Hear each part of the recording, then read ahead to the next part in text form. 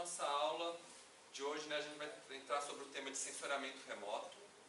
É um tema né, que é bem extenso, assim, né, existe uma disciplina só para esse tema né, aqui no FABC. Mas é, aqui a gente vai ver assim, uma introdução né, para vocês entenderem como é que é. E eu vou passar para vocês no final umas referências, né, que vocês se aprofundar mais no assunto também. E assim, vale a pena né, fazer uma disciplina só para isso, né, porque e, e dá para se aprofundar bastante, tá? Esse curso também é oferecido para extensão ou não? Olha, atualmente não. Porque, mas a gente pode até conversar, que quem está acostumando a dar mais esse, essa disciplina agora é o Victor Fernandes, que é um professor novo aqui no FBC, ele costuma dar lá em Santo André, né, para engenharia ambiental urbana. É, mas eu acho que ele tem, teria disponibilidade. Eu posso até dar uma conversada com ele e perguntar se ele, se ele poderia oferecer. O problema lá é que o laboratório é menor. Então, às vezes não dá. Gente, alguém está fazendo essa disciplina? Não, né? Agora não, né? Tá, é porque tem que ver se teria vaga ou não, quantas vagas disponibilizaria, mas é, normalmente ele, ele é um cara assim que ele é aberto para esse tipo de iniciativa. A gente pode conversar com ele para se tiver interesse, né, a gente pode... Interessante sim. Tá, legal. Então eu, eu, vou, eu vou dar uma conversada com ele, então. É, ele está oferecendo esse quadrimestre, não sei se ele vai oferecer no próximo, se vai ser só no ano que vem, mas aí a gente olha com ele direitinho, tá? Não, ótimo. Obrigado. É, bom, então, sensoramento remoto. O que, que é sensoramento remoto? O que, que, o que, que, você, que vem na cabeça de vocês quando a gente fala sensoramento remoto? Satélites, mais alguma coisa? Não, controle à distância, não. Né? Controle à distância. É. é. assim, hoje eu acho que já, já é um pouco mais popularizado esse termo, né? Tipo há 10, 20 anos atrás, quando a gente fala assessoramento remoto, o pessoal pensava, ah, é controle remoto, essas coisas assim, né? Mas vamos pensar isso, né? Tem uma definição de sensoramento remoto, né, que é a utilização de sensores à distância. Por isso que é sensoramento remoto. Né? É algo que, que é um sensor que a gente consegue medir coisas à distância. Né? Então, é, o que, que normalmente vem na cabeça da gente quando a gente pensa em sensoramento? A gente pensa aquele Google Earth, né, como Google Maps, alguma coisa assim que a gente começa a ver o mundo a gente consegue dar aquela viajada de dar o zoom, né, de aproximar assim, ah, o FABC está aqui. Aí vamos aproximando para a região metropolitana, para chegar na área né, de, São Bernardo do Campo e, e, a gente conseguir ver né, por cima, de longe, né, o que a gente está querendo estudar. E aí chega né, até o campus da UFABC, né, onde a gente está. Né? A gente consegue sempre aproximando. É, e para que, que serve? O que, que a gente faz com isso né, de sensoramento remoto? Quando vocês veem uma imagem dessa assim, que tipo de aplicação que vocês acham que pode ser feita numa região dessa, assim, que a gente vê usando imagem de satélite? O que, que vocês veem aqui, né? um rio. Um rio. desmatamento. As culturas, né, de plantio. Aqui plantio na beira do rio, talvez um desmatamento aqui. Né? É, sim. Professor, parece que está até meio cortado. Assim. Ah, ah, ver, parece lotes, sabe? Aqui, né? Os lotes. Isso. A gente consegue ver a estrutura de propriedade da terra. Isso mesmo. De uso, né? De tipos de uso. Mais alguma coisa vocês conseguem pensar? Dá para ver fiscalização, né? De desmatamento legal, se é área de preservação, comparar os usos, né? Sim. A gente pensa se é área de preservação, se não é. Isso. Eles deram muitas ideias. Algumas coisas também que a gente pode pensar aqui. É, será que tem áreas de inundação, né? Também, né? Porque se aqui a gente tiver uma planície de inundação de um rio, tanto que o pessoal tenta não usar, tende de não usar, por quê? Porque provavelmente todo ano isso aqui deve inundar, né? Na época da chuva. E na parte mais alta o pessoal vai utilizando. Outras coisas, né? Ao longo das décadas, a, o rio ele vai o quê? Comendo, parte mudando o, o fluxo dele, o leito dele deposita de um lado, come o barranco do outro. Quem tem casa na beira do barranco às vezes desaba a casa da pessoa, né? Tem várias coisas que a gente pode pensar. E numa imagem dessa, o que tipo de aplicação vocês pensam para o sensoramento remoto? Clima, né? Clima, né? O que, que tem- a gente vê aqui? Direção do, do vento. Direção do vento, certo? Como que a gente vê a direção do vento? Ah, porque dá pra ver aí pelo branquinho aí que o vento tá rodando numa espiral. Espiral, né? Isso mesmo. A gente está vendo o quê? Hã? Desastres naturais, né? Isso, a gente está vendo um furacão se aproximando, né, lá do, dos Estados Unidos, aqueles furacões que causam bilhões de danos, né, que destrói tudo lá na Flórida, né? Isso mesmo. Então a gente consegue fazer pensar, usar isso para previsão do tempo, né? É, Questões de desastres, é isso mesmo que a gente pode pensar. É, e numa situação dessa aqui, mineração, Parece desmatamento. né? A gente tem uma, uma- um fragmento de vegetação e de repente abriu um desmatamento aqui na beira da rodovia lá no Mato Grosso, né? Então, a gente pode fazer esse monitoramento, né, de desmatamento. Vocês já falaram na imagem anterior, né? E numa imagem dessa, Nossa. bem colorido, né? Parece aquelas artes contemporâneas. Aham, Mas o que, que será que são todas essas cores aí numa imagem de satélite? Boa pergunta, hein? Ver as curvas de nível aí, né? Bem. Curva de nível. É, mas será que a curva de nível é o quê? Das isolinhas de elevação ou o quê? Acho que tem a ver com relevo, né? relevo com as práticas agrícolas, né, de plantio em curva de nível, né?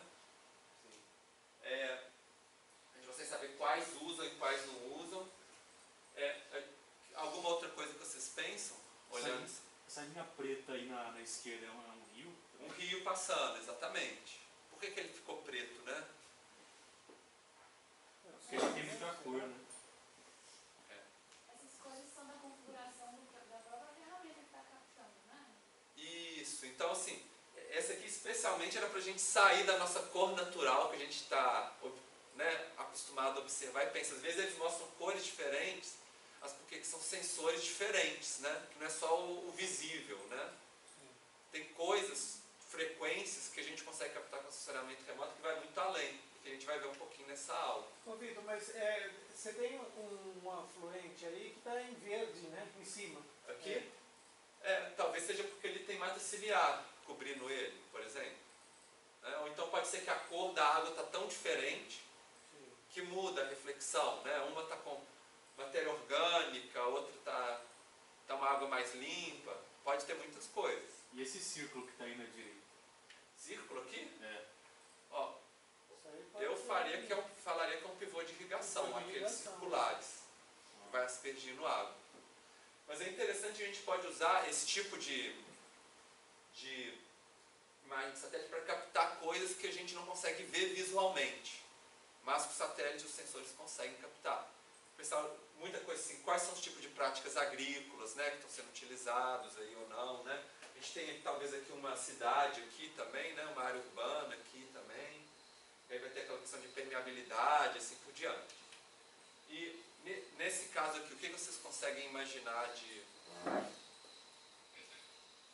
de aplicação? Parece uma imagem 3D, né? De um relevo. Isso, isso mesmo. E a ideia era pe- trazer isso para vocês, que muitas vezes o 3D ele é tirado, a, a informação de altitude é tirada do sensoramento remoto, de satélite. Traz essa informação de altitude. E aí a gente joga a imagem, a outra imagem por cima. Né? A gente fez isso numa, quando a gente usou no QGIS né, de VEM 3D, que, que praticamente travou o computador de todo mundo, Sim, né? é. Vocês lembram, né? É isso mesmo. E numa situação dessa, o que que vocês pensam que pode ser usado no sensoramento remoto? Contaminação de solo? Não, eu, não- eu acho que é, o que ele está demonstrando é, é aquela diferença de calor, não é? De calor? É. Porque está mais vermelho? Tipo de solo. Tipos É, de tipo- solo? O tipo de cultura, eu acho, né? Ou a pos- disposição do solo. Uhum. Olha, a princípio não parece que o solo. Será que está exposto ou será que é uma, uma parte meio de gramínea? Não saberia dizer. Parece mata ciliar. Mata ciliar. Aqui parece ter um rio aqui, né? passando. Eu achava que era uma estrada. Estrada, é, a estrada está aqui do lado. Ó. Ah. É. Mas é, o, o, que. Né, uma, algumas coisas para a gente pensar. Aqui está uma resolução muito maior do que as outras imagens, né? Sim. E. É, tem, vocês repararam, tem umas áreas mais vermelhinhas do que outras. O que, que isso pode ser? Né? Depende do sensor que a gente está utilizando. Mas uma coisa né, que está aumentando muito a aplicação de sensoramento remoto é o que a gente chama de agricultura de precisão. É justamente usar sensoriamento remoto para diagnosticar o que está acontecendo na cultura agrícola. Por exemplo, que lugar que está tendo praga, que não está, que, a, que a cultura está mais seca, que precisa irrigar, que precisa colocar fertilizante. Né? E aí, olha, com um sensor né, de alguma, algum tipo de sensor, ele consegue captar até de cada pezinho de café, ó, será que tem algum pezinho de café aqui que está precisando de um cuidado especial, por exemplo, né? Então a gente consegue, ou então alguma área, que ó, essa área aqui está mais seca do que as de fora, então é, valeria a pena né, dar, fazer algum trato cultural, então tem, tem muita utilização disso agora. Seja com satélites de alta resolução ou com drones, aviões, né, esse tipo de coisa. E nesse de cá? Temperatura dos oceanos. Temperatura dos oceanos. Então a gente tem né, satélites, principalmente globais, que monitoram várias características do, do planeta Terra, né, de temperatura, chuva, é, né, várias coisas, camada de ozônio, né, vários, vários atributos e que fazem esse monitoramento também por sensoramento remoto. É, uma coisa importante, a gente começou muito sensores, né? Sensor é sempre algo que ele capta uma energia que está no ar, que vem na direção do sensor. Ele é um captador de um certo tipo de energia. Né? E aí ele usa essa energia para pensar, trazer uma informação para a gente. Né? Quantidade dessa energia que está sendo captada. Aí, será que isso é sensoriamento remoto? Então, um, um, um, tipo um tocador de música, alguém vendo televisão, ou um, um sonar, seja do golfinho, ou seja do submarino, alguém tirando a foto, tudo isso são sensores, né? O sensor que está na gente ou o sensor que está no equipamento, né? Mas não é exatamente o contexto que a gente costuma usar o sensoriamento remoto. Eu trouxe só para a gente pensar. O outro contexto seria isso, né? Ultrassom no, uma pessoa fazendo um pré-natal, ou um raio-x, ou né, uma tomografia computadorizada, né? É, que que vocês vocês acham que isso seria sensoramento remoto? Eu acho que sim. Só numa escala diferente, talvez, né? É. Na, isso é interessante a gente pensar porque tem, tem um diálogo muito grande da, do imaginamento de saúde com o sensoramento remoto que a gente usa para fazer mapa. Muitas vezes, muitas técnicas que são utilizadas são semelhantes, tem troca né, de, de, de técnicas, um pega uma técnica do outro, sensores né, também que, que usa em uma, em uma escala, o pessoal tenta adaptar para outra ao longo das décadas, então tem um diálogo muito grande. Mas são escalas diferentes. Né? Então, assim, muitas vezes quando a gente está falando de sensoriamento remoto, a gente está falando de uma escala de, quê? de superfície terrestre, e muitas vezes a gente está falando de qualquer tipo de, de onda de, desse sensor, a gente está falando de radiação eletromagnética normalmente. Então agora a gente está especificando um pouco mais o que a gente vai trabalhar na nossa aula. Né? É, então a gente vai. Existem. A energia eletromagnética é transmitida de três formas: radiação, condução e convecção. Né? Como que transmite energia? Né? Então pode ser radiação é quando tem algo quente e solta uma onda né, eletromagnética para esquentar. Convecção é quando o material que existe ele move, seja o ar mais quente sobe, a água mais quente sobe ou desce. E condução é quando vai, a energia vai sendo transferida por dentro do objeto, né? passa da panela e vai e queima a mão da pessoa que segura a panela, né? por exemplo, a panela quente. Então, é a condução. A gente vai trabalhar muito funcionamento remoto com a radiação. Tá? E, e, e aí tem essa radiação, por que a gente fala eletromagnética? Porque normalmente vem uma onda elétrica e junto com a onda elétrica perpendicular a ela vem uma onda eletromagnética. É uma onda magnética, desculpa. Então o elétrico e o magnético eles andam juntos na mesma onda, né? E aí a gente tem o sensor magnético, sensor elétrico, né? Que vai captar né, essas ondas, tá? É, e assim, a gente tem radiação eletromagnética para todo canto nos dias de hoje, né? Desde o do micro-ondas, do, Wi-Fi que a gente usa, sinal de celular, né? É, colocar o som na televisão, tudo é transmitido por ondas eletromagnéticas. Tá? Então está em todo lugar hoje em dia.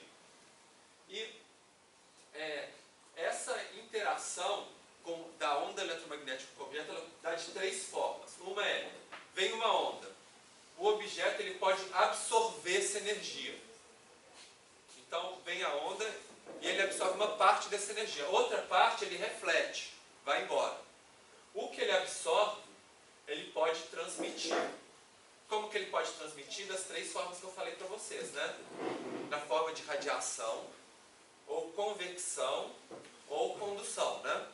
E a gente vai estar tá mais interessado agora na radiação. Algo que recebe energia, esquenta e solta e emite essa radiação de volta, né? Então, eu acho que eu falei um pouco essas coisas para vocês.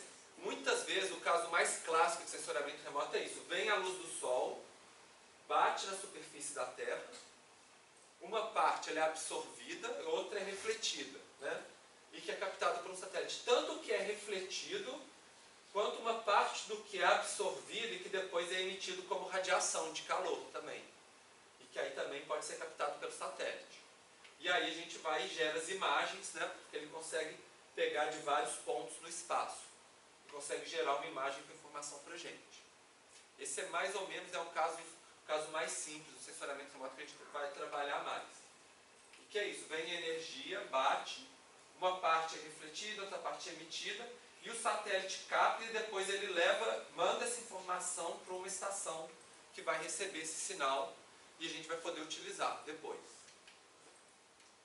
É, então a gente tem né, é, sensores orbitais, ou seja, o satélite e eles vão trabalhar com várias resoluções. A gente vai ver desde o planeta Terra até a área urbana, até a escala né, de lote, tem vários tipos de resolução. É, e normalmente a gente trabalha muito com satélite, mas a gente tem que lembrar, por exemplo, pode ser por avião, pode, hoje em dia está sendo cada vez mais comum fazer por drone também, né, o drone com sensores. Pode ser, por exemplo, uma câmera fotográfica mesmo, no alto de um avião, no alto de um helicóptero, tira uma foto e a gente consegue uma imagem, por exemplo, de alta resolução. Né? É uma forma de um sensor. E agora vamos entrar um pouco no princípio físico disso. Bom, a gente falou né, da radiação eletromagnética. É, tem alguns princípios, né? Assim, todo corpo ele emite radiação, tá, gente? Baseado na nossa temperatura. Quanto mais quente, mais radiação a gente emite. Nós temos, emitimos radiação, né? Por exemplo, a cobra, quando ela caça o ratinho, ela consegue enxergar o, o calor que vem do ratinho, né? Para ela, ela conseguir atacar o ratinho, né? É, e a Terra, o que? Ela recebe energia do Sol e emite essa energia também, né? Quando, quando algo emite, o Sol ele é quente, por isso ele emite radiação, né?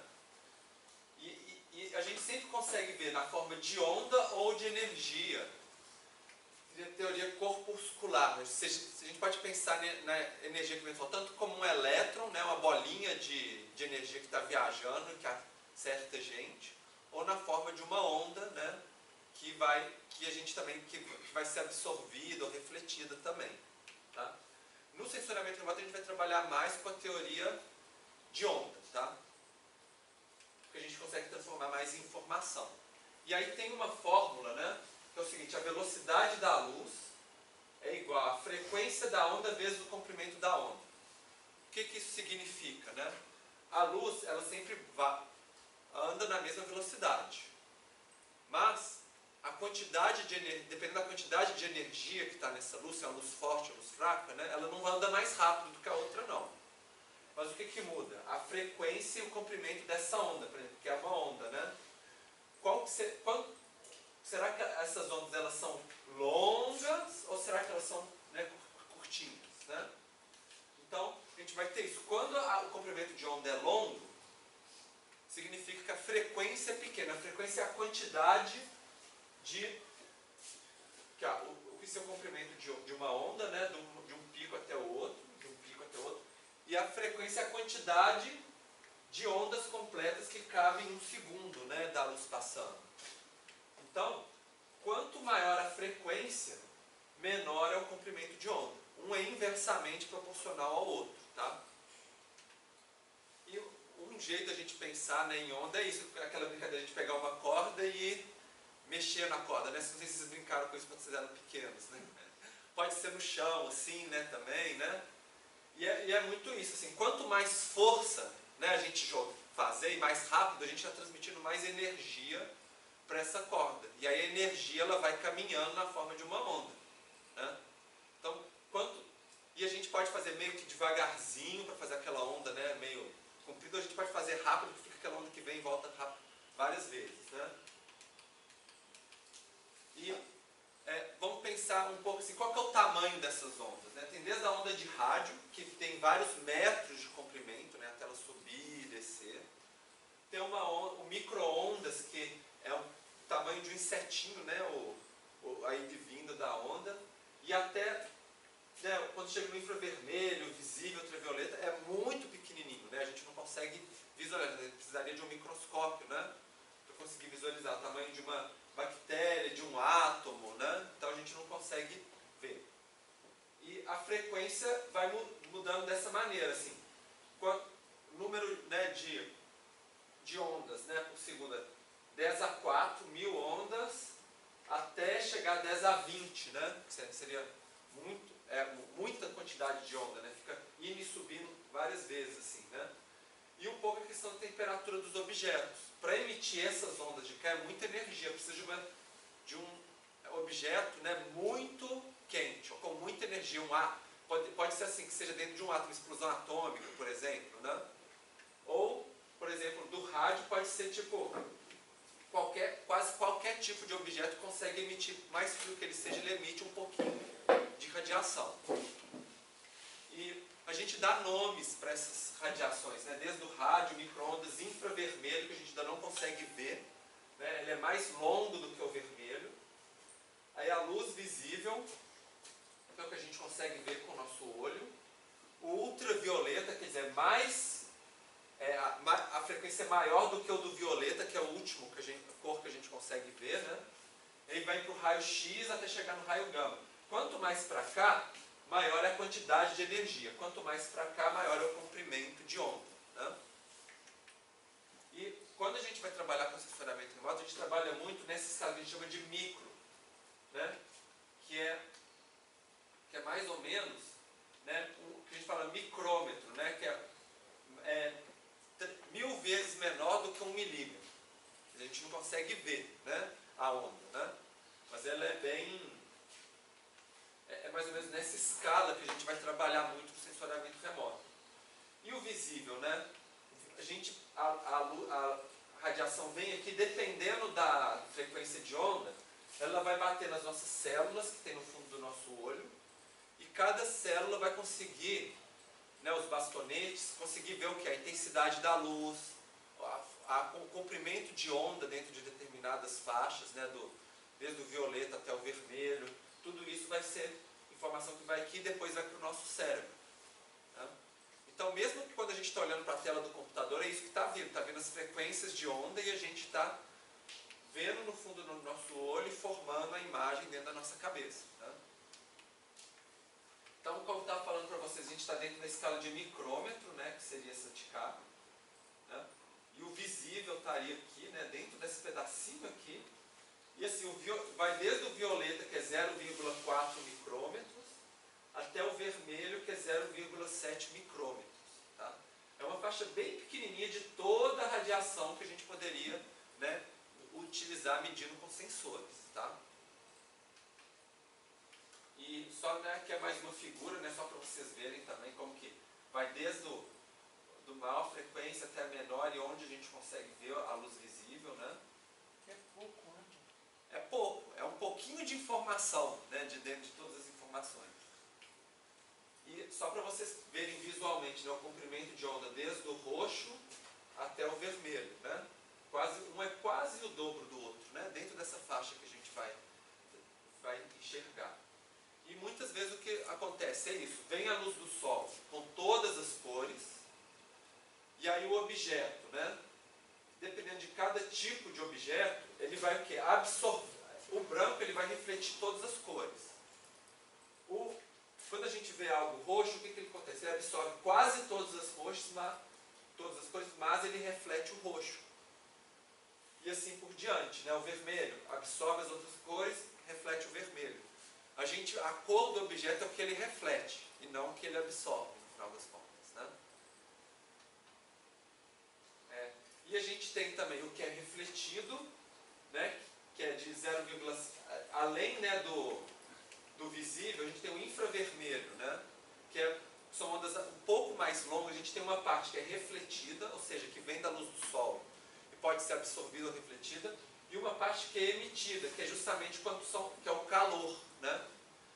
A gente tem o calor que a gente absorve, que a, a, a, o planeta Terra absorve, e ele emite o infravermelho na forma de calor, né? que está entre 3 e 100 micrômetros, que a gente consegue captar isso com sensores também. Tá?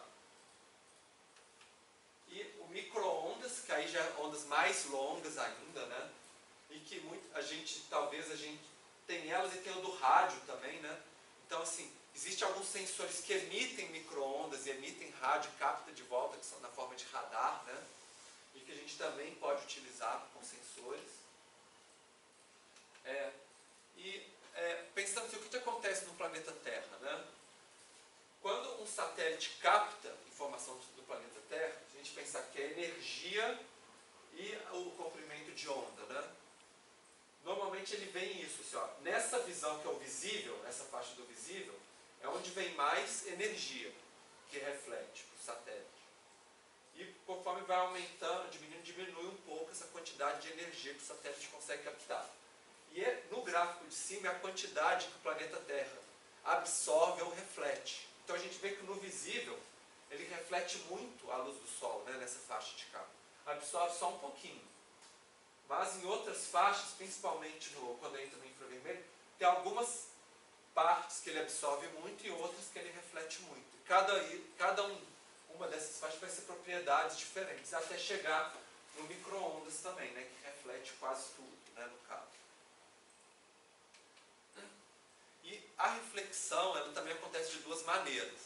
Quando é uma, se fosse uma superfície totalmente, é, totalmente lisa, um espelho, né, por exemplo, a onda vem a luz de um lado e ela vai exatamente para o outro lado.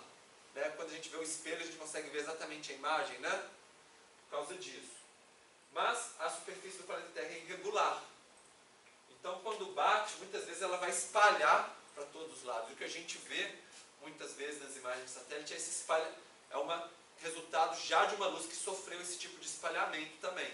E que isso vai causar, às vezes, né, vai ficar um pouquinho embaçado a imagem, né, não vai ficar tão nítido igual se a gente visse no espelho, né? Uma, uma imagem no espelho, tá?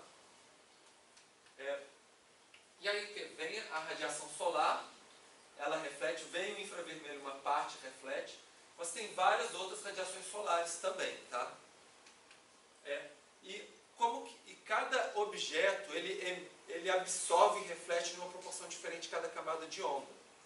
Então, para mostrar para vocês esse gráfico que é bem interessante, a gente vê o que? Cada. Aqui a gente tem as faixas de, de onda, desde o vermelho até chegar no infravermelho. A gente tem aqui o quanto da porcentagem que a gente chama de reflectância, que é o tanto que ele reflete. Então, quer dizer, mais para baixo ele absorve muito, mais para cima ele reflete muito. Né? E a gente tem diferentes tipos de objetos. Então, por exemplo, a água, ela reflete pouco, ela absorve muito todas as os formatos de onda. E o infravermelho ele absorve quase tudo. Olha.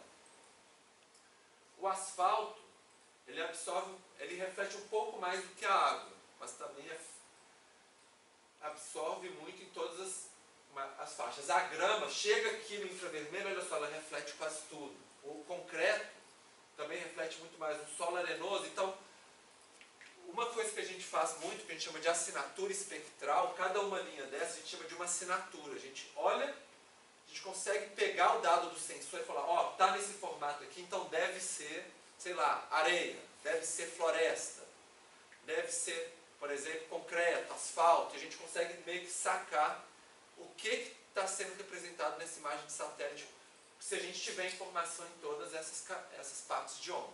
Tá? E vamos pensar agora, por exemplo, a vegetação, né, que é muito utilizado o sensoramento remoto.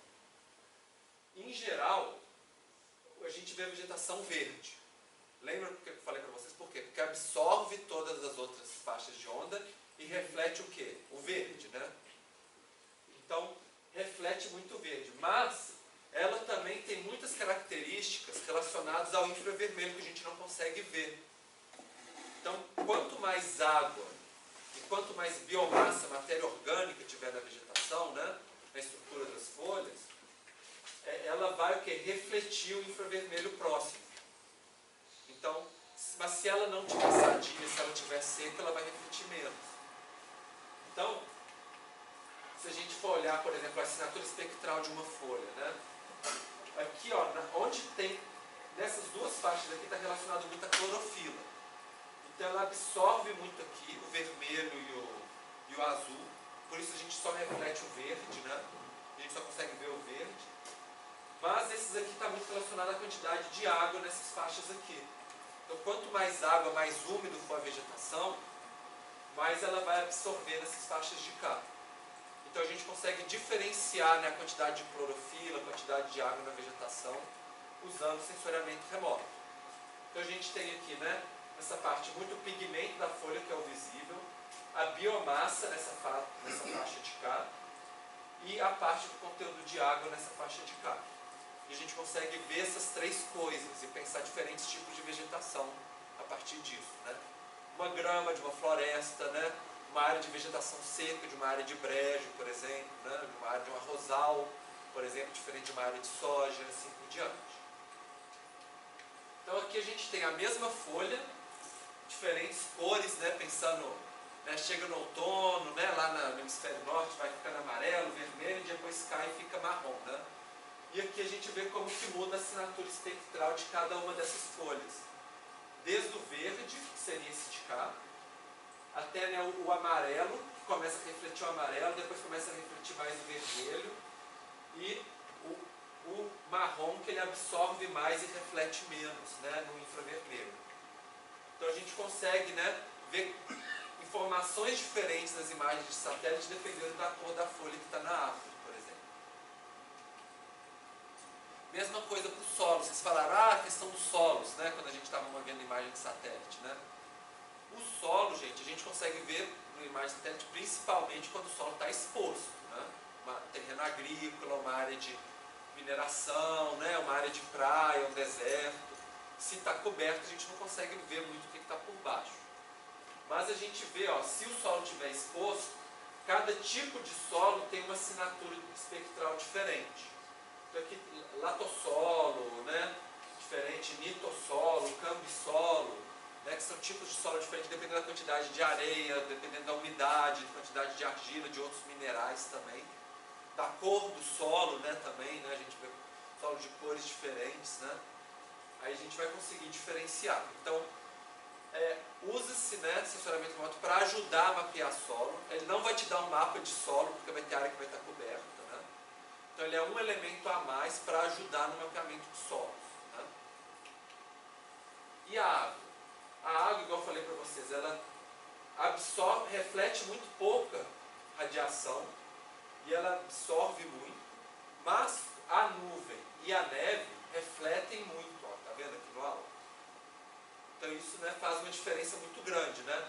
Nessa faixa de onda, quando passa para de cá, o que a neve, a neve absorve infravermelho, mas a nuvem reflete. Então a gente consegue diferenciar nuvem de neve só quando a gente consegue um satélite que chega nessas faixas de cá. Né? Então aqui ele vai ver de um jeito também, vai ter uma diferença. Mas se a gente consegue aqui e aqui, é muito mais fácil de diferenciar uma da outra. E a gente né, tem aquela questão do aquecimento global, né? que conforme derrete as geleiras, né, na neve e tudo, a, e vira água, né, o planeta Terra absorve muito mais calor e a Terra vai ficando cada vez mais quente também. Né? Um vai aumentando o outro mas a, a água ela só vai, quanto que ela reflete, quanto que ela absorve de esse comprimento de onda depende da, da quantidade de água, do volume de água, né? Porque no mar aberto, se, você vê uma imagem de cima assim, você não consegue ver o, o solo da crosta oceânica ali debaixo da água. Uhum, sim, sim, sim. Aí, quer dizer, vai absorver muito, né? E vai, não vai refletir quase nada. For uma pocinha de água, né, vai, vai absorver só um pouquinho, mas é isso mesmo. A profundidade influencia, mas não só isso. A qualidade da água também. Então, por exemplo, a gente vê aqui, ó, tem um lago límpido, né? Que tá quase que um espelho de água, né? E a gente tem o quê? O nosso, acho que esse aqui é o Tietê, né? Então, assim, é todo, todo poluído, né? Marrom e tudo. Quantidade. Isso vai ter reflexões diferentes na imagem de satélite. Então, para dar um exemplo para vocês, a gente tem o rio Piracicaba que vem de Campinas e o rio Tietê que vem de São Paulo, no mar. Um e o outro, né? O, não que o Piracicaba seja muito limpo, mas a gente vê assim que o Tietê é marronzão, cheio de lixo, né? O Piracicaba ele tem muito esgoto orgânico, né? Mas mais matéria orgânica, afinal, tem menos lixo, né, jogado nele, né? Menos sedimento. E aí os dois eles chegam no reservatório de Barra Bonita e se juntam. Na hora que eles se juntam, a gente vê até assim, cor de um lado do outro antes deles se misturarem, né? E como que ficaria isso numa imagem de sensoramento remoto? Esse aqui é a assinatura do rio Tietê e essa é do rio Piracicaba. O que, que a gente vê? No rio Tietê ele tem muito o quê? Sedimentos nele. Né? Então, o que acontece? A turbidez. Então ele vai refletir muito nessa faixa do marrom. Né? Seria o que? O amarelo, o vermelho, né? misturado aqui. O rio Piracicaba, ele tem muita matéria orgânica, o que, que acontece com a água? Ela fica preta. Preta é o quê? Absorve muito radiação e reflete pouco em todas as faixas de onda. E o reservatório? Vocês viram que ele está no meio do caminho. Por quê? Porque ele misturou as duas águas. Então, a gente consegue ter uma, uma noção da qualidade de água, né? Utilizando sensoriamento remoto. Então, é muito utilizado o sensoriamento remoto para... Lógico, tem que ter validação em campo, medição de laboratório, mas ele ajuda. Quando a gente tem medição em laboratório, validação em campo, a gente tem de um pontinho só.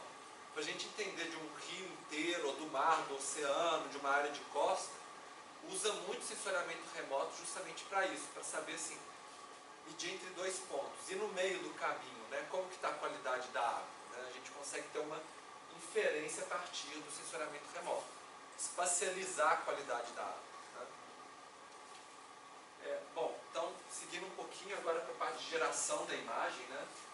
Se- Sensores, a gente pode trabalhar com sensor assim, em curto. A gente está o quê? Medindo a temperatura da, da galinha para ver se ela está com gripe aviária, por exemplo. É um sensor, sensoramento remoto. Né? A gente não está encostando na, na galinha. Pode ser no alto de um trator, aqui, fazendo um levantamento geofísico, por exemplo. Né? Pode ser um balão atmosférico, pode ser é, um equipamento de laboratório, por exemplo, né? vendo, sen- sensoriando algo que está em uma mesa. Então pode ser várias coisas, tá? Mas em geral a gente trabalha nessa escala para mapeamento, desde o satélite, avião, drone, né? Que é onde que, que, que eles vão estar com sensores acoplados neles, né? criando imagens. Então isso é bem importante, porque às vezes a gente tem o mesmo sensor, o mesmo tipo de sensor num drone, num avião, em um satélite. Né? Então a gente, a gente não. É importante a gente diferenciar o que, que é sensor e o que, que é o que? O veículo que está transportando esse sensor. Né? Eu acho que quanto mais perto ele tiver, maior vai ser a resolução que a gente vai conseguir né, das coisas. Está mais longe, a gente vai conseguir o quê? Ver uma área maior, mas a resolução vai ficar pior. Né? Assim por diante. O, o, mas, por exemplo, se você pegar um satélite, né? Aham. Ele tem mais, ele tem várias ele tem vários comprimentos de onda, não tem? Sim. Tem, mas por exemplo, hoje em dia, você, você tem, por exemplo, drones que têm sensores com vários comprimentos de onda também. Que conseguem ver desde o ultravioleta, infravermelho, termal. Então a distância entre o, veículo e, a, e o objeto a ser observado não, não, difere. Bom, talvez assim, o tipo de sensor, talvez não. É lógico né, que no, no satélite talvez vai ser um sensor grandão, né, um captador grande, tudo. Né, no drone vai ter que ser um pequenininho. Mas é, a- o princípio físico que está por trás é o mesmo. Tá? É, não vai mudar por causa do veículo que está transportando.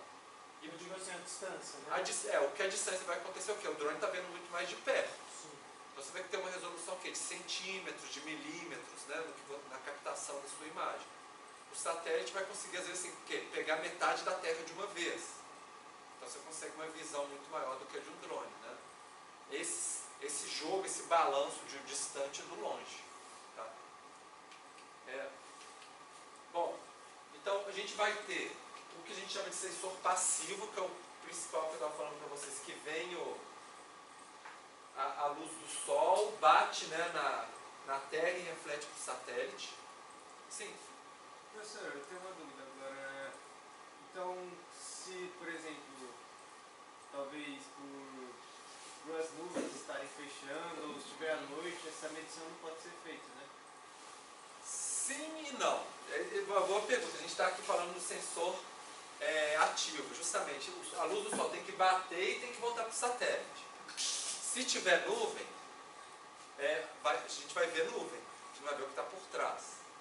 Então, por exemplo, uma dificuldade de desmatamento da Amazônia, de monitoramento, é essa.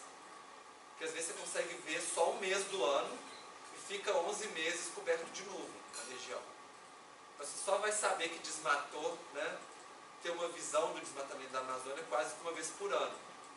E a fiscalização só vai chegar lá muito depois, né? por exemplo, se for usar um sensor que a gente chama de sensor passivo, né? que ele só capta essa luz do sol que bate e volta. É igual você falou à noite. À noite vai ficar escuro, mas a gente tem alguns estudos que usam, por exemplo, é, a- a que, que que o satélite vê a Terra à noite para captar, por exemplo, a iluminação noturna das cidades. Que lugares que tem assentamentos humanos ou não. Fazer esse tipo de estimativa. Então, mas pare- na, na Amazônia, se você estiver fazendo esse, usando como veículo um drone, talvez você tenha menos interferência das nuvens. Se você estiver abaixo da nuvem. Sim, Vai ter neblina, essas coisas assim. Mas vai, vai, talvez vai ser mais fácil. O negócio é você voar a Amazônia inteira de drone, né? Bem Esse mais- satélite ele não capta a luz da lua também, né?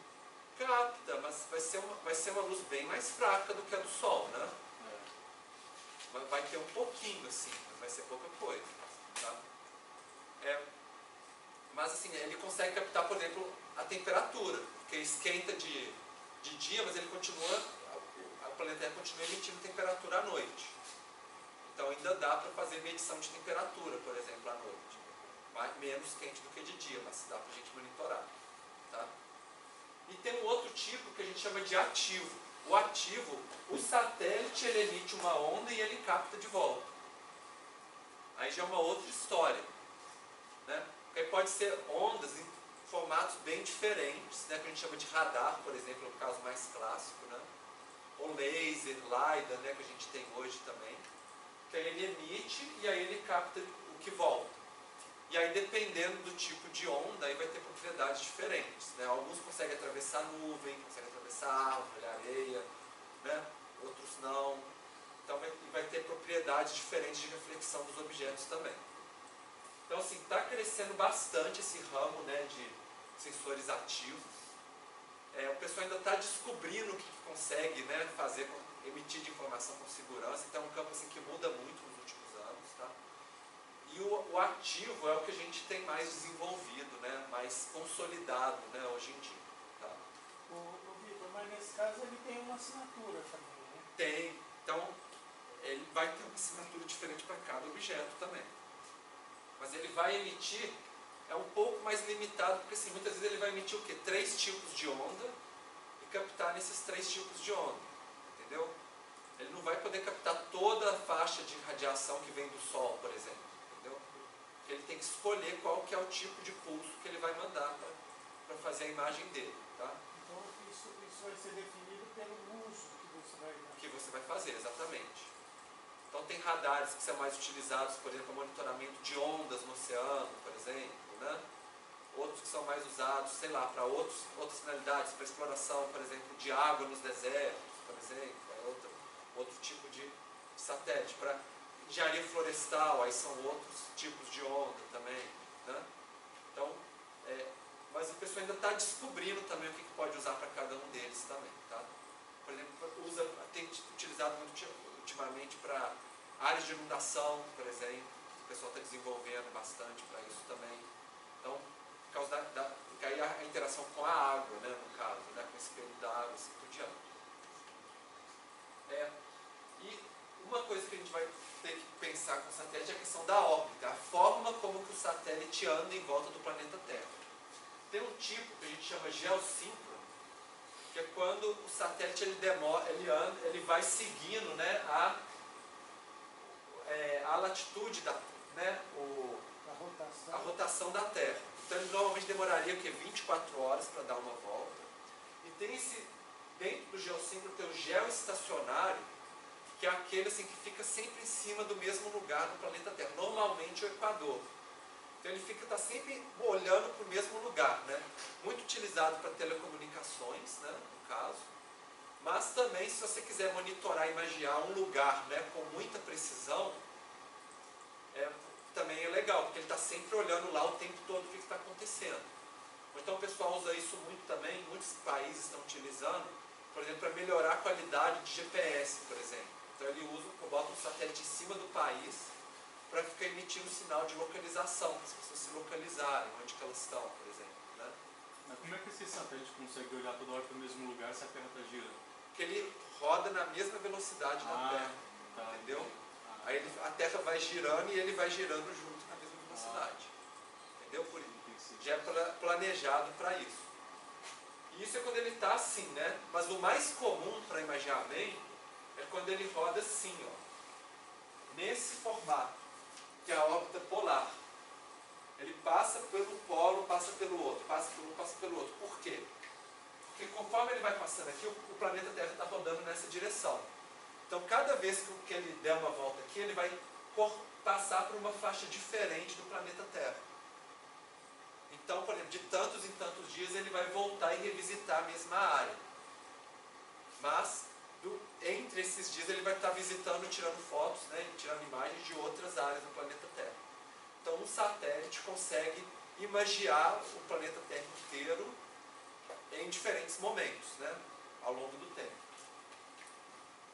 Então, é, só para vocês pensarem né, um pouco o que a gente está tendo hoje, né, a gente tem mais ou menos 4.550 satélites, a maioria de telecomunicação, né, é, tri- mais ou menos um terço é de uma empresa só, né, que, é, que é a Starlink, né, SpaceX, que é aquela do Elon Musk, né, que é aquele cara milionário lá e tudo, então ele tem um terço né, do- dos satélites na Terra. Né, e então, assim, os Estados Unidos né, tem 2.800, a China 400, a Reino Unido 300, Rússia 168, o Brasil tem 16, né?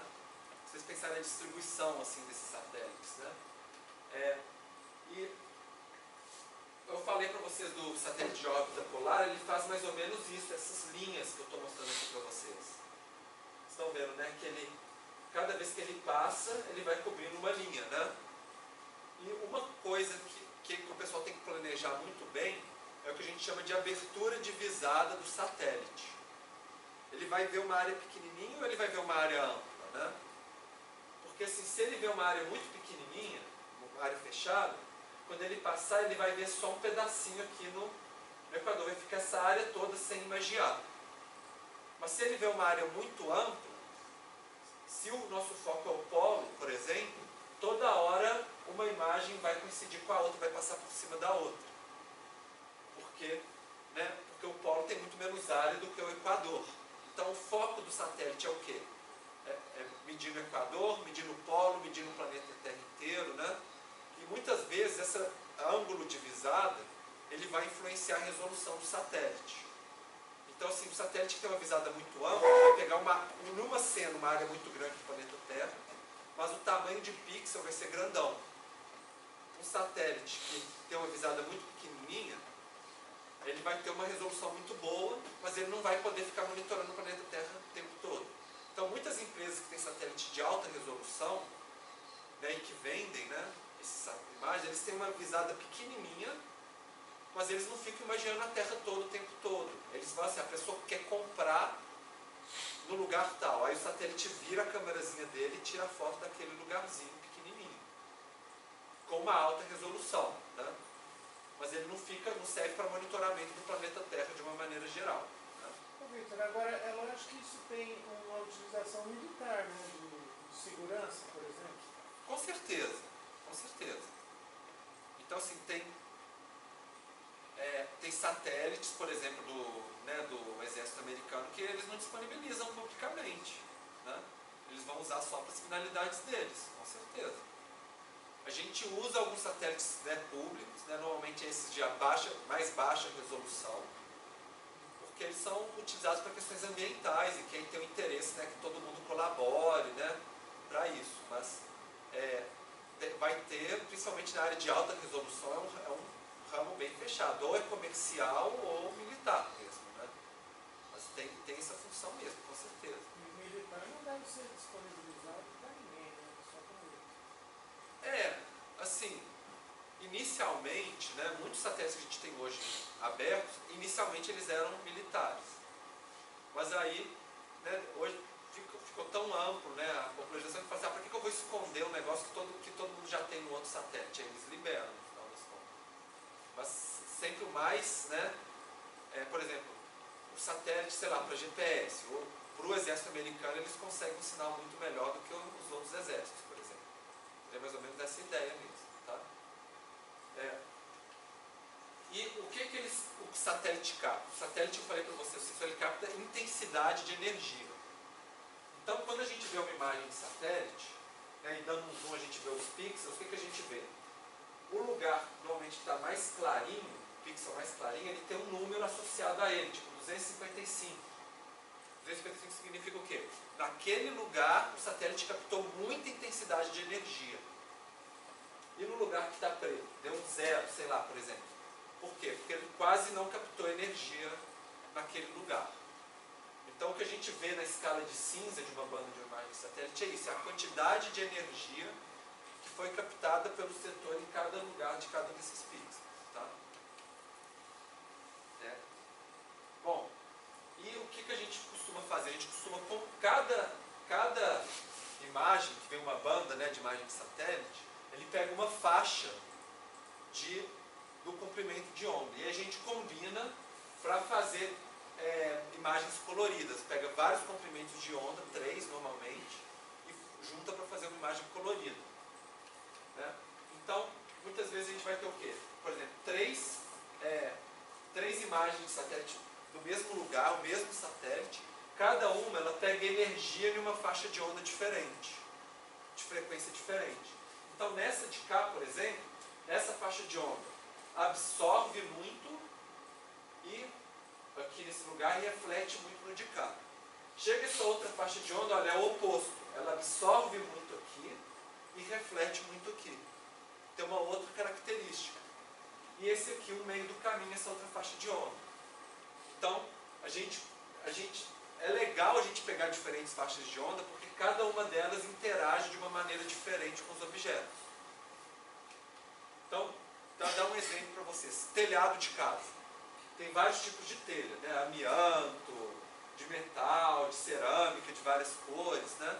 Cada uma delas vai ter uma interação diferente com a luz. Umas vão absorver mais, outras vão refletir mais. Quem está dentro de casa sente né? também se vai estar tá mais quente ou não. E aí a gente pode estudar como cada uma delas vai refletir. Né? E é interessante para estudo urbano, porque a gente sabe também que diferentes tipos de habitação urbana né, usam diferentes tipos de telha também. Né? Lugares mais ricos, né, áreas mais ricas da cidade usa telha mais bonitinha, né, vermelhinha. Né, o pessoal lá na área de favela usa mais telha de amianto. A área de galpões também né, usa ou amianto ou telha metálica. Então a gente consegue usar essa informação para entender também o ambiente urbano. Então, nesse estudo eles pegaram vários tipos de telha e viram a assinatura espectral de cada tipo de telha. E aí, né, cada tipo de telha interage com as faixas de onda de uma maneira diferente e a gente consegue, com base nessa assinatura espectral, detectar qual que é o tipo de telha que cada habitação está utilizando. Fazer essa caracterização no ambiente urbano. É, e aí, assim, mostrando isso né, numa imagem de satélite, né? Esses aqui são as bandas do satélite Landsat, que é o mais utilizado de, né, de acesso público. Né? Então aqui a gente tem as faixas de onda. E as faixas de onda, desde o visível, infravermelho próximo, e o termal, né? que é a, a, o calor que é emitido. Então, esses quadradinhos é porque teve vários lançamentos de satélite ao longo das décadas. Esse aqui é o mais recente. Então, cada quadradinho a gente tem uma, uma imagem raster que a gente consegue baixar de cada um desses quadradinhos, que é uma faixa de onda diferente. Então, do visível, 2, 3 e 4. A gente consegue é o azul, o verde e o vermelho. Então, vai ter uma, uma, uma, um TIFF, né, uma camada raster para cada um deles. Outra para o infravermelho, outra para esse, outra para o termal, assim por diante. E aí a gente pode combinar essas visualizações. Então, por exemplo, aqui, né, o, usando a imagem de satélite, a gente consegue fazer a assinatura espectral de cada tipo de telha, que é o que a gente viu aqui, né? Esse aqui usou um sensor o quê? Um sensor que você bota em cima da telha, né? pertinho. E esse aqui usou a imagem do Landsat. Que aí a gente consegue fazer a mesma coisa e pensar isso aqui dentro da imagem do Landsat. Porque, por que, que aqui está só um pontinho? Porque a gente tem um rastro para cá, outro rastro para cá, outro rastro para cá, para cada faixa de onda. Né?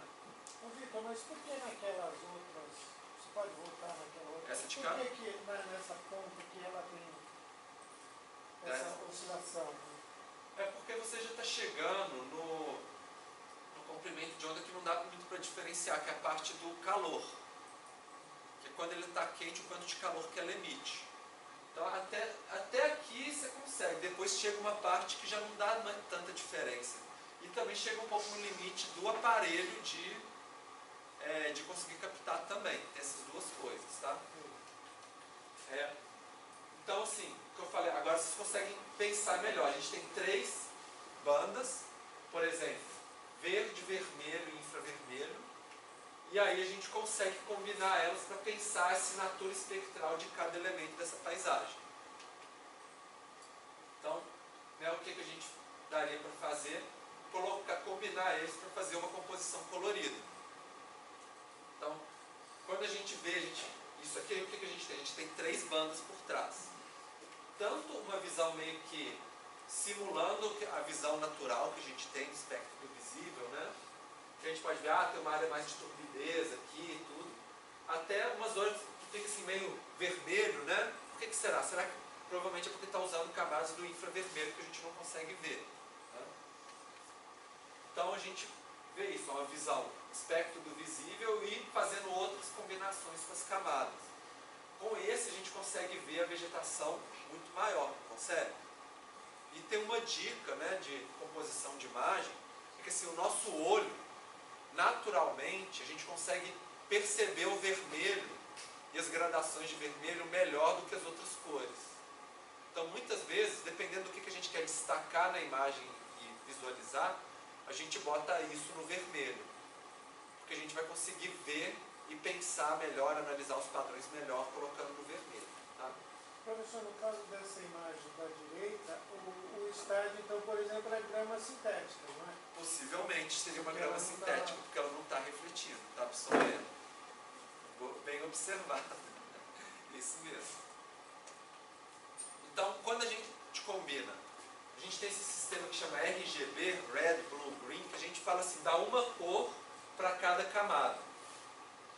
Então, quando tiver né, é, muita reflexão do vermelho, vai ficar, essa camada vai ficar mais vermelha. A outra camada, quando tiver muita intensidade de energia, vai ficar mais azul. A outra vai ficar mais verde. Se tiver maior, muita intensidade nas três, vai ficar branco. Se tiver muita intensidade no vermelho e no azul, mas não tiver no verde, vai ficar lilás. Se tiver no vermelho e no verde, mas não tiver no azul, vai ficar amarelo.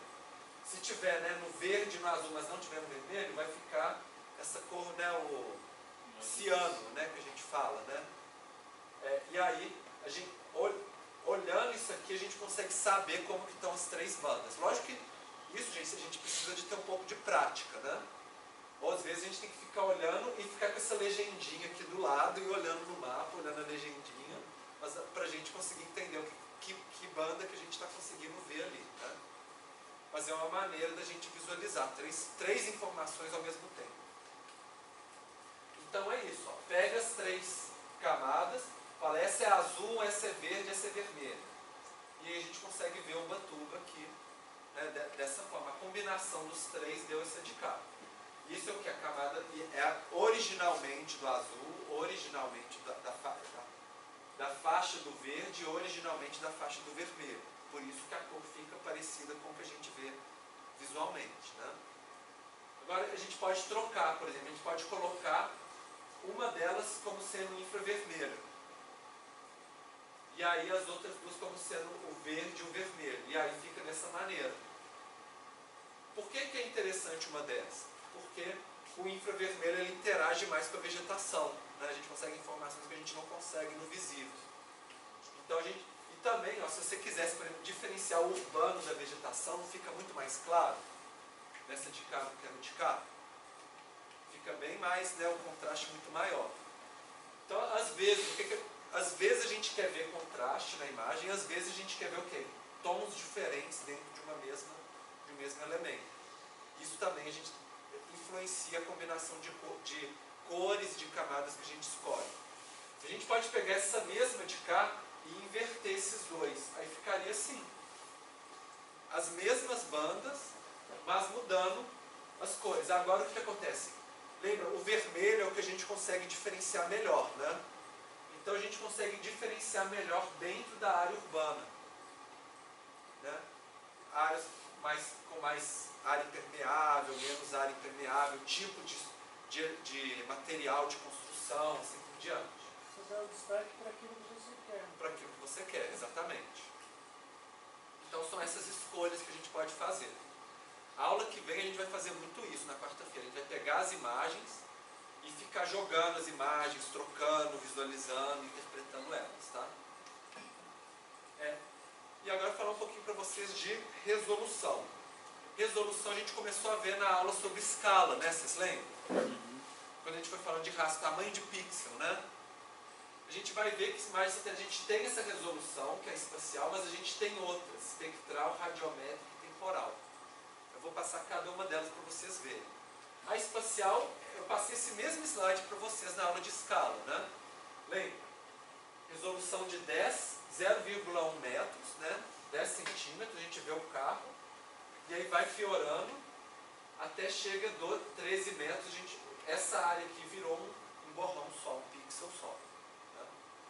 Que, que a gente vai conseguir enxergar numa imagem de satélite vai depender do, da nossa resolução. Tá?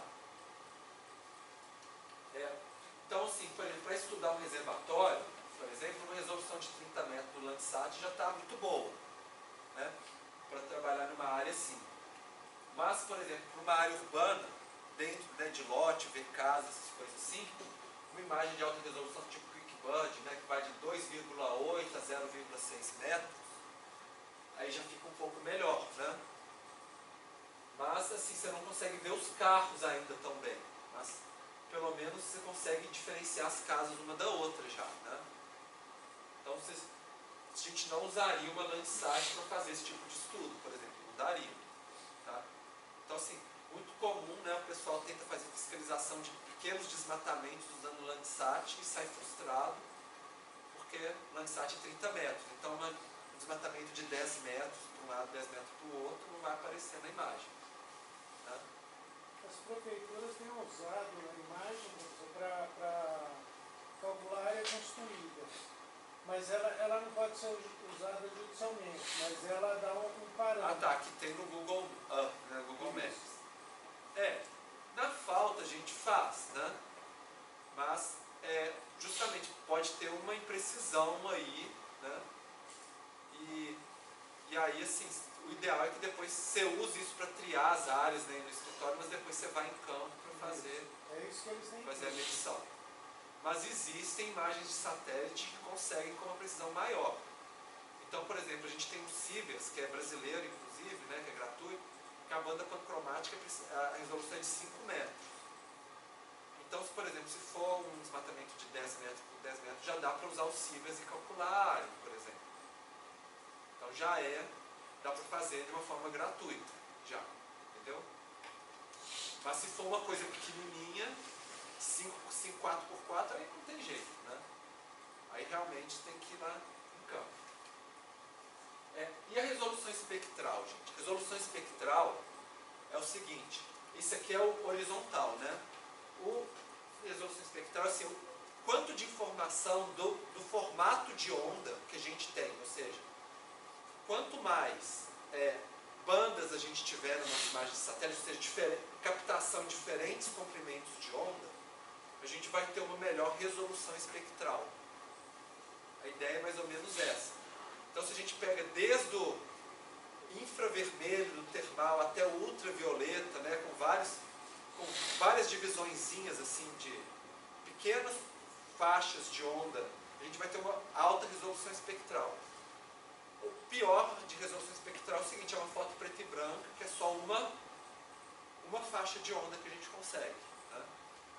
Então, é, para a gente ver, ó, uma é um pouco que a gente quer, é o que eu mostrei para vocês da, da, das, do telhado, né? Do telhado das casas. Quando a gente pega a imagem no Landsat, a gente pega assim, ó, né? Quatro, cinco bandas e um pontinho com a informação de cada banda. Um satélite que a gente chama de hiperespectral, por exemplo, Prisma, Hyperion, tem alguns, eles conseguiriam fazer, pegar o mesmo objeto e gerar algo assim desse jeito. Porque cada pontinho aqui é uma banda que eles têm. Eles têm muito mais bandas, né? Diferentes faixas do espectro magnético. Então consegue dar uma visão muito mais detalhada, mais rica em informações. E a gente consegue diferenciar os objetos muito melhor. Né? É, um outro exemplo, né? a gente comparou o multiespectral com o hiperespectral. O outro é comparando o pancromático, que é uma faixa só, com o multiespectral, que tem várias faixas. Então o pancromático ele pega só uma faixa de onda. E essa aqui é do Landsat. Os dois têm um Landsat. A gente tem um de alta resolução, de 15 metros, por exemplo, né? 10 metros, para que a gente consegue ver as coisas de pertinho. E a gente tem um multiespectral, que tem várias bandas, mas a resolução espacial é muito pior, 30 metros. Então, é, a gente pode ver ou em um ou no outro. E aí tem uma técnica que a gente chama de fusão de bandas, que ele pega essa imagem aqui e colore com essas cores de cá, e aí fica desse jeito. Então a gente consegue fazer uma técnica de sensoriamento que a gente junta essas duas imagens e gera de cá. E aí consegue ver uma imagem colorida com uma resolução melhor. Então é um pouco isso. A pancromática do Landsat, ela pega esse fato. Esse aqui é o espectro de onda. O visível está aqui, né? Então, o pancromático, ele pega essa faixa toda e faz um resumão e joga aqui. Alta resolução espacial, mas baixa resolução espectral. O multiespectral, ele pega várias camadas de onda, né? Várias faixas de onda, mas ele tem uma resolução espacial mais baixa. Então a gente vê esse jogo, resolução espacial e resolução espectral, né? um balanço entre eles. Né? É, e tem a, resolução radiométrica. Radiométrica é o seguinte, quantos níveis de cinza a gente consegue colorir o nosso pixel? Seria essa a ideia. Então, seria um pouco isso assim. Se uma imagem de 2 bits, por exemplo, só consegue armazenar 0 e 1, um, então assim, 0 tem energia e 1 um não tem energia. Então é o que? Preto e branco. Né? Não é escala de cinza, ou é preto ou é branco. E a gente pode colocar uma imagem em vários níveis de cinza. 4 níveis, 256, 1024, 2, 65 mil níveis de cinza. Né? E isso vai depender do quê? Da sensibilidade do sensor que está recebendo essa energia. Mas a, a visão, ela, a visão A gente não consegue. Não consegue. Acima de 256, muito pouco a gente consegue diferenciar. Né? Mas, por exemplo, para uma, uma modelagem, por exemplo, né, matemática, tudo, você vai ter que fazer cortes né, de estatística e tudo, às vezes pode ser muito útil. Tá? Então, e assim, é lógico, gente, quanto maior a resolução, mais pesada é a imagem.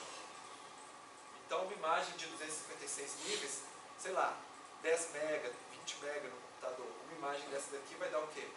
A gente baixa né, um Landsat 9, que está mais para o lado de cá, esse aqui 2000 níveis, é, vai quase dar um giga todas as bandas juntas. Né? Então é muito mais pesado né, para a gente trabalhar.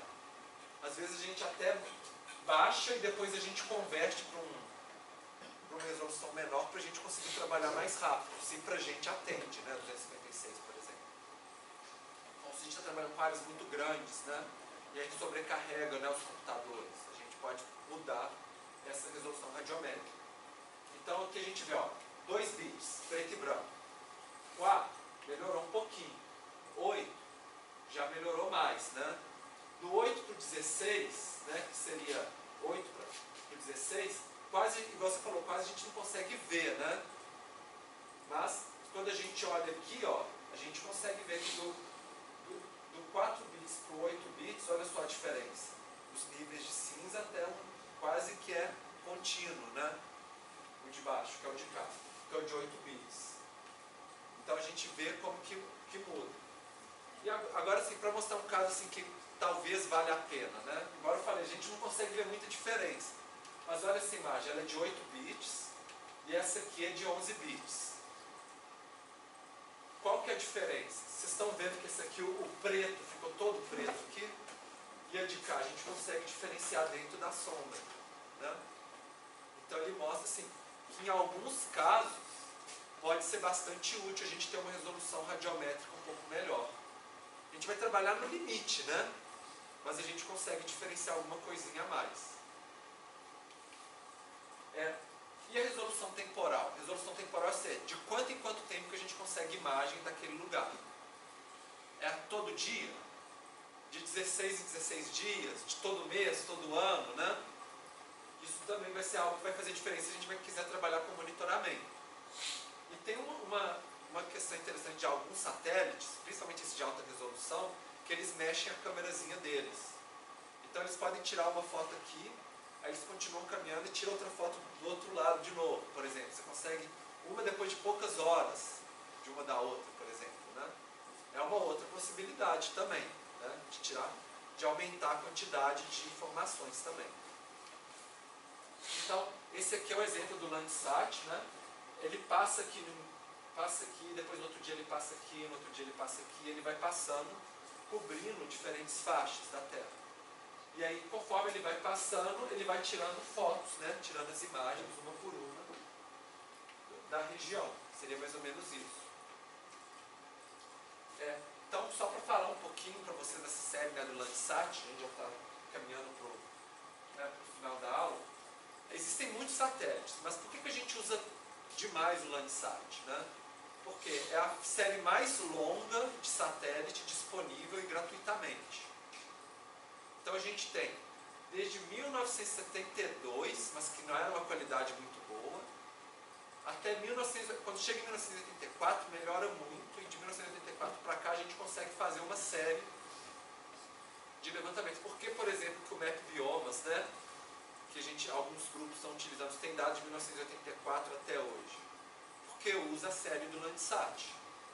Então, resolução de 30 metros, multispectral, né, diferentes faixas do visível, do, tanto do visível quanto do infravermelho e do termal, por um longo período de tempo. Né? Então, desde 72 que começou a ser lançado, e aí foi até 2009. Em vez de seguir aqui lendo aqui para vocês, é mais fácil eu explicar no gráfico. Tá? Então, cada época foi lançando um satélite, ele ficava um tempo desativado, lança outro para cobrir. Né? E aí eles foram seguindo, né? O Landsat 4, que é de 1984 né, em diante, que, que foi o, o, mais utilizado, né? Que é o que, é, que, começa né, a ter essa resolução de 30 metros, várias bandas e tudo. O Landsat 5, ele era para ter sido desativado aqui, ó. Só que aconteceu um tanto de acidentes. O Landsat 6 lançou e caiu. Não chegou na hora. O Landsat 7, ele lançou, aí o pessoal desativou o 5, falou, pronto, resolveu. Chegou aqui, 2003 mais ou menos, ele quebrou espelho, um dos espelhos dele lá. E aí ficou uma imagem cheia de pedaços, gente só consegue ver pedacinhos da imagem. Até hoje tem, mas você pega a imagem só com pedacinhos, é muito ruim de trabalhar. E aí eles foram estendendo até onde dava, chegou uma hora que não dava mais, e aí teve um tempo, de 2013 a 2014, que ficou sem imagem Landsat, e aí eles lançaram o Landsat 8, lançou, e aí agora lançou em 2021 o Landsat 9, para que está dando continuidade. Ô, quando a gente está naquele Google Earth, ele, ele usa Landsat? Quando você está vendo de longe. Não, porque quando, aquele reloginho que você volta. Isso, exatamente. Mas quando você está vendo de longe, ele usa o, Landsat. Quando você está vendo de perto, aí ele usa as bases de imagem de alta resolução lá do Google. Tá? Mas o de longe é o do Landsat, sim. Tá? E aí quando você está voltando nos anos, ele está seguindo, seguindo essa... esse, esses satélites aqui, exatamente. É, então assim, de, mil, de 1972 até 2011, tinha um, um sensor, é, sensor dos satélites, que é o, esse MSS, que era uma resolução de 60 metros, e tinha um, dois, três, quatro faixas de onda. Tá? que ele media. Esses aqui, é, ainda é muito difícil trabalhar com eles. A imagem não era muito boa, era uma coisa meio embaçada. Assim. Do Landsat 4 em diante, que mudou para esse sensor que é o TM, Teletic Maker, aí colocou isso tudo. Esses vermelhos é os novos, né? entrou a faixa do azul, infravermelho de ondas curtas, termal, infra, outro infravermelho de ondas curtas, né? e a resolução melhorou para 30 metros só o termal, que na verdade a gente baixa o pixel, a, a imagem raster tem 30 metros, mas o sensor ele só consegue 120, então ele pega 120, a gente está sem, sem pincel. Ah, tá aqui, tá aqui. Então o que, que ele faz? Ele pega o pixel de 120, né, assim, e ele divide em pedaços de 30. Então, quer dizer, é uma cor só, você consegue ver que é uma cor só, mas ele está dividido em pixels de 30. Mas não pode enganar que é 120, tá? A resolução. Que é a resolução de aquisição, né? Depois, é, no Landsat 7, eles já acrescentaram a banda pancromática, que é aquela que eu mostrei para vocês, né? Que tem uma resolução melhor e que a gente pode juntar com as outras, né? Fazer a fusão o termal melhorou para 60, né? E, só que ele foi o que quebrou em 2003. E aí do Landsat 8, que são as mais recentes, eles colocaram essa ultra azul e o Cirrus, essas duas aqui, uma é para captar poeira na atmosfera e a outra nuvem. Para que, que a gente está interessado em poeira e nuvem? Né? Principalmente para corrigir as imagens. Que a gente começou a usar uma técnica que chama correção atmosférica, que a gente pega uma imagem meio embaçada e se a gente tem essas duas informações aqui, a gente consegue melhorar a qualidade da nossa imagem. Principalmente para comparar imagens de tempo diferente. Por exemplo, uma imagem de um período que estava empoeirado e de outra que não estava. Para a gente comparar, a gente aplica uma correção baseada nessas bandas e aí a gente consegue colocar elas em níveis que a gente consegue comparar a mesma cor de uma com a mesma cor na outra. Né? E o termal, né, dividiu em dois, antes era só um. Landsat 5 né, era 120, passou para 100 metros a resolução. Então assim, deu uma melhorada. E a resolução radiométrica, passou de 8 para 12 bits. Então os níveis de cinza aumentaram, ficou muito mais pesado as imagens, né? mas consegue ver os níveis de cinza de uma precisão muito melhor. Tá? Então é um pouco isso. Cada época, desde o MSS, que só tinha as bandas aqui no visível, Aí o, o TM, né, que é de 1984 até 2014, mais ou menos, a gente tinha essas aqui, né? Pensando, visível, infravermelho próximo, infravermelho distante, termal, né? E aí o Landsat 8, que ele, e aí entra a pancromática, né? Que é, no Landsat 8 está aqui, que é de alta resolução. E entre as duas, né? Aerossol e nuvem, aqui, né? Para fazer a correção das imagens também. Então é um pouco né, o que a gente tem. Então aqui para a gente ver, né? um pouco eu estava falando para vocês, 2 bits, só um sim ou não, né? Até chegar no 12 bits, que é o do Landsat né, atual. Do 8 bits, praticamente assim, do 4 bits até o 12, a gente quase não vê muita diferença visual, né? A gente vai ver justamente algumas situações especiais, ou numa sombra, ou numa modelagem né, matemática, alguma coisa assim. E a gente pode fazer várias combinações. Então aqui mostra várias combinações naquele RGB, né? Red, Green, Blue. Ah, quero cor natural, quero colocar o infravermelho, quero ver o mais urbano, quero, sei lá, diferenciar a vegetação, níveis de vegetação, aí usa mais diferentes bandas do infravermelho. Então a gente pode fazer várias combinações, a gente vai ver isso mais na próxima aula, tá? E só para trazer um pouquinho para vocês, assim, existem muitas outras imagens, muitos outros satélites, tá? E alguns deles são públicos também. Então, assim, para mostrar alguns dos mais utilizados, né? A gente tem o MODS aqui embaixo, que é essa de cá, essa linha de cá. Interessante do MODS, assim, ele tem uma visitação a cada 8 dias, o Landsat a cada 16 dias, então a resolução temporal é mais rápida. Ele pega uma área muito maior do planeta Terra de cada vez, mas, em geral, a resolução de pixel dele é mais ou menos 300 metros, ou seja, 10 vezes pior do que o Landsat. Mas, para fazer um monitoramento, por exemplo, em escala estadual, ou escala né, nacional, continental global, está mais do que suficiente. E é interessante, olha, vocês estão vendo, cada quadradinho desse é um raster, uma banda que ele gera. Estão vendo a quantidade de, de bandas que ele tem? Então ele tem uma resolução espectral muito melhor. E aí o pessoal que trabalha né, com climatologia, produtos, por exemplo, para monitorar poluição, né, é, química da atmosfera, mudanças climáticas, usa muito mods porque conseguem diferenciar muito essas, essas coisas da atmosfera, dos oceanos, níveis de clorofila, né? Então dá para fazer muita coisa com eles. Tem o Aster, que também é de 30 metros, igual o Landsat, é muito parecido, tá? E- Mas ele trabalha muito né, com o, com o, o, o termal e o infravermelho. Então, algumas aplicações né, usam o Aster por causa disso. E a gente tem o Sentinel. O Sentinel ele é meio que o competidor do Landsat, porque foi lançado pela União Europeia para fazer né, a contraposição com os Estados Unidos.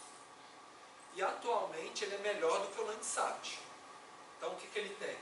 Ele tem aquelas bandas de nuvem para fazer a correção atmosférica, de poeira. Ele tem é, essas que o Landsat tem 30 metros, ele tem 10 metros de resolução. E ele ainda tem outras a 20 metros de resolução extra, que o Landsat não tem, que usa muito para monitoramento agrícola, de, é, dessas questões né, de cor das folhas, esse tipo de coisa. Então, assim, qual que é o problema do Sentinel? O Sentinel, porque ele é mais novo, ele só tem de 2014 para cá. Então, assim, se a gente quiser uma coisa que fazer um, um estudo que só vai de 2014 para cá, vale mais a pena usar o Sentinel do que o Landsat.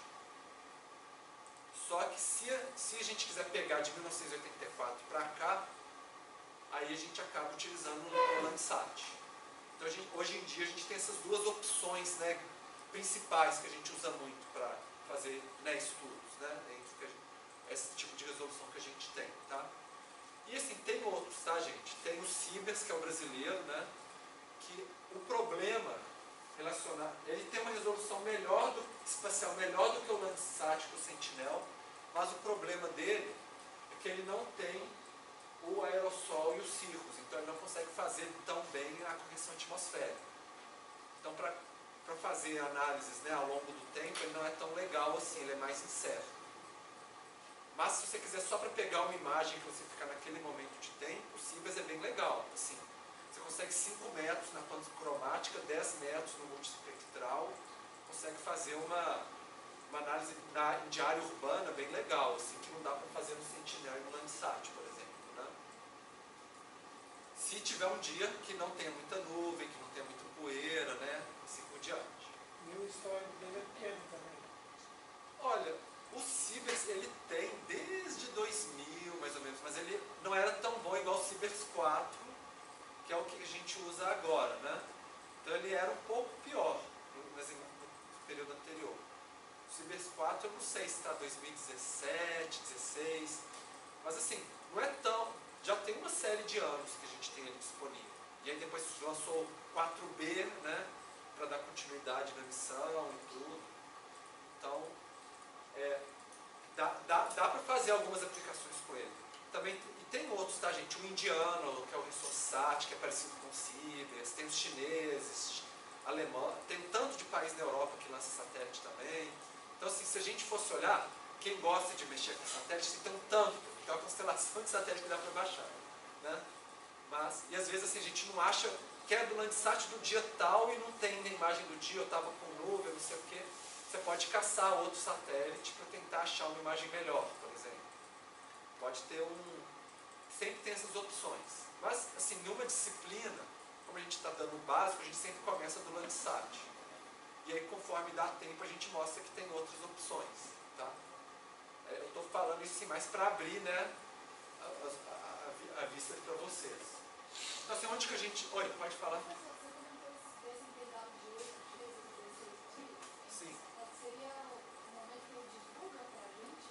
Não, é, é porque depende, tá? O Landsat é o momento que ele passa naquele local. Ele passa e num dia passa 16 dias depois. Então, por exemplo, uma das dificuldades, por exemplo, monitoramento de inundação. Às vezes choveu, hein, passou o satélite, passou cinco dias, choveu, deu inundação, depois quando vem o satélite de novo, a inundação já foi embora. Então você não tem mais, não dá para você fazer um mapeamento da inundação usando imagem de satélite, do Landsat, por causa disso. Às vezes dá sorte. Às vezes na hora que choveu estava passando a nuvem em cima e ele não conseguiu ver. Aí você também não consegue fazer. Então tem um pouco essas coisas. O MODS ele tem uma coisa legal assim, que na verdade ele tira quase todo dia. Só que aí eles fazem o que eles chamam de composto de oito dias, porque aí eles pegam só os melhores pedacinhos de imagem sem nuvem e fazem tipo uma combinação mosaico só de imagem sem nuvem a cada oito dias. Então é bem legal porque você tem uma imagem limpinha, mais ou menos, né, na medida do possível, né, a cada oito dias. Então já é uma outra, é um outro tipo de pensar resolução temporal, né?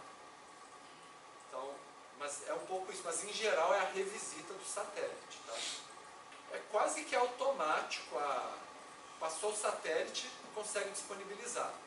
Mas em geral, algumas agências elas preferem também ter um tempo para processar as imagens, ver se não tem um erro, né, por exemplo, para depois lançar ela com maior confiabilidade, fazer a correção atmosférica no caso do Landsat, né? Para já mostrar a imagem, você poder baixar a imagem já bonitinha, já, né? Então, às vezes tem um tempo de processamento, tá? Porque vai chegando muito mais, mas se você quiser pegar a imagem crua, você consegue pegar quase em em tempo real. Mas aí você tem que fazer esses processamentos no seu computador, é mais complexo, tá? Então, assim, quando a gente pega, por exemplo, no INPE, a imagem do Landsat, a gente pega a imagem praticamente crua. O INPE ele capta do, do, do satélite Landsat direto e disponibiliza. Mas se você pega, por exemplo, na USGS, você já pega ela com vários processamentos, com vários ajustes, mas demora um pouquinho mais para soltar. Então, em geral, é mais aconselhável pegar no USGS do que no INPE, o Landsat, porque eles já fizeram todos esses processamentos. Mas o INPE é legal porque ele consegue pegar o Cibers, consegue pegar, como eu falei, outros satélites, né, ResourceSat, UK, BMC, vários outros satélites também que são gratuitos, que eles conseguem captar das antenas, sem processamento. Eles captam direto do satélite e jogam para quem quiser baixar. Mas é uma opção também, né? É, o Earth Explorer, né, que eu já, é, já tinha falado para vocês que a gente baixa né, o SNTM lá, a gente baixa o Landsat e o Sentinel aqui também. Só que aí o Sentinel é, aqui é sem processamento. Lá você pega da União Europeia já processado. Né? Então, se for baixar Sentinel, é melhor pegar lá no portal da União Europeia. né? Então a gente tem que saber, às vezes, de onde a gente baixa cada coisa. Né? Se for pe- pegar o ResourceSite que é indiano, mais legal é ir lá no site lá da Índia, né? E assim por diante. Professor, é, sobre a resolução do- da imagem do, do satélite Sim. e a área que eles conseguem pegar, isso aí tem a ver com quão alto eles estão voando? tem, tem várias coisas. Quão alto ele está voando, quão ampla é a visada dele, né? Se, se ele vê uma área muito grande, a resolução espacial vai ser pior, mas às vezes a revisita vai ser mais rápida. Né? É, então tem várias coisas. E tem a qualidade do sensor também. A tecnologia dele, a sensibilidade dele para conseguir diferenciar. Então tem várias coisas. Mas se ele conseguir voar só até 10 metros, dá para pegar alguma coisa. Daria. Um drone consegue fazer uma imagem, por exemplo. Né? Da mesma forma que o satélite, só muda a distância. Tá? Se você pegar um helicóptero de brinquedo, dá também. Né? Porque Não, não. O pessoal aqui da engenharia aeroespacial volta e meia faz uns, uns brinquedinhos com a câmerazinha digital e tira as fotos, faz umas coisas assim, mas como experimento didático, né? Na verdade, se a precisão, georreferenciamento, se não vai vibrar, esse tipo de coisa, tudo isso influencia. Mas não é tão difícil fazer isso. Tem gente que faz, sei lá, pega o drone sem câmera, bota a fita crepe lá no drone com a câmerazinha com o celular e faz a brincadeira, né? Às vezes cai e quebra tudo também. Mas, é, mas é, tem essas soluções de baixo custo também, dá para fazer. Tá? É, no mar, dá, dá para você subir no alto do edifício, tirar uma foto para baixo e georreferenciar a foto. Mesma coisa, tá? Ô Vitor, agora entre uma- um, um tipo de satélite e outro, você não consegue é, trabalhar os dois juntos, né? Olha, o pixel não vai cair certinho. É mais difícil. Mas é possível, tá? Então, assim, às vezes o pessoal faz isso. Pega um, um Landsat, imagem do Landsat, pega tipo a pancromática do Cibers, que é de 5 metros, por exemplo. E faz uma fusão de banda uma com a outra. Dá para fazer, tá? No final das contas. É um pouco, às vezes tem que tomar um pouco mais de cuidado, um pouco mais complexo, mas dá, tá? É, bom, então assim, é, tem, quem quiser depois, né, eu colo- coloquei nos slides né, para fazer o, o cadastro no Earth Explorer, né, tem um videozinho explicando como que faz, tem vários, alguns vídeos, né, mais para quem quiser aprofundar mais depois, como que você pode usar o Landsat para diferentes né, finalidades, como que pode fazer monitor, aplicações de monitoramento né, por satélite. Então, É mais opcional, tá, gente? Porque como tem muita coisa de assessoramento remoto, não dá pra gente ver aqui. Então quem se interessar e quiser explorar mais, eu estou dando para vocês né, as fontes, as fotos.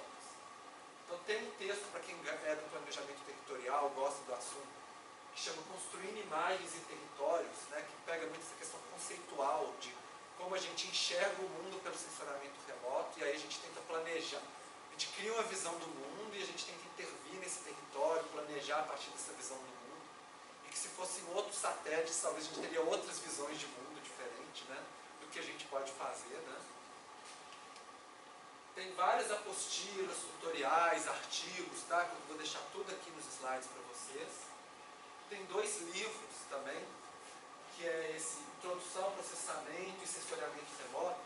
Que aí, gente, quando você pega esse livro, aí vocês veem assim, como que tem uma base de física muito grande no sensoramento remoto. E quanto mais você entende essa física, mais você consegue é, interpretar e utilizar o sensoramento remoto. Você tem mais segurança do que você está fazendo. Ah, sei lá, tem um, um- que, que tal região ficou mais escura na imagem de satélite? Aí você tem que pensar que, quais são os princípios físicos que estão por trás daquele objeto, interação com a luz, não sei o que. Aí você consegue ter uma sacada que você consegue descobrir o que está acontecendo naquela região. Mas às vezes é por causa do relevo, né? Não é Pode ser, não, mas então, justamente essa questão das sombras. Como que funciona a questão das sombras, interação com a luz e sombra? Isso tem toda uma questão de física, de sensoramento remoto.